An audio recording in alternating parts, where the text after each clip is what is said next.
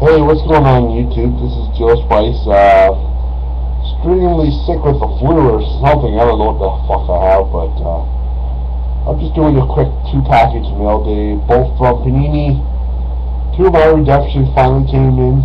The two shitty ones. Two out of three shitty ones. Uh, so I'm just gonna to I have this BJ Armstrong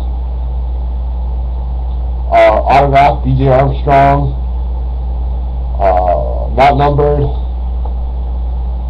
Rogers Bulls back in the day, and out of 99 of Mr. Sam Perkins, number 9 of 99.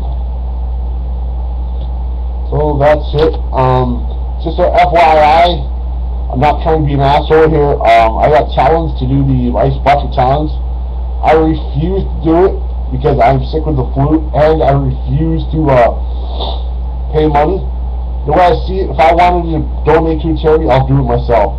To me, in my opinion, this is obviously a cash thing.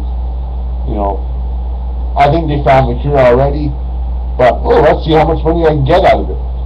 So that's it. Um, like I said, I'm not trying to be an asshole. It's just my opinions. Know, so that's it. My two package mail day, and they're both for trade for sale. That's it. All right, peace.